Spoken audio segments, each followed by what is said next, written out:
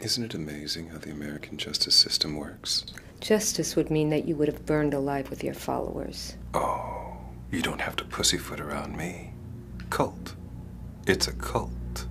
I thought most cultists abhorred the word. Definition cult. A small group of people with religious beliefs regarded by others as sinister.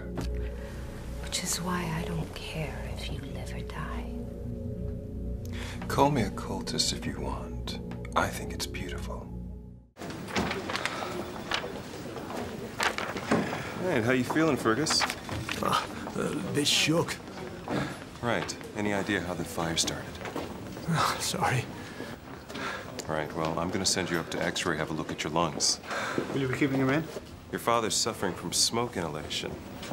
Nothing too dramatic, but we'd like to keep him in for a couple of hours. We're going to have to move your grand to a high dependency unit. What was that?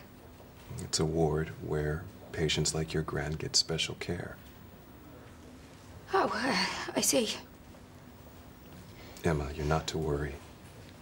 This is standard procedure for this type of condition. But it really isn't something that you should have to be dealing with on your own. I really need to speak to one of your parents. You! Step forward. What is your name? Oliver. And how do you live, Oliver? Do you spend extravagantly and indulge yourself with materialistic pleasures of the flesh? No, I'm homeless. God is dead in this country, but I think he may still be alive with you, Oliver. The final judgment is coming for each one of us. And no one can escape it unless they repent their sins and say, I believe in Jesus! You a church-going man? I worship the devil away from the cage. A couple more minutes. Put my thoughts at ease. When you're back in your cell, you will have plenty of time for reflections. The last time away in the cage. I see your point, big man. I do indeed. But the thing is, up here in PC, up here, it's a little different than downstairs. We got a different kind of vibe going on.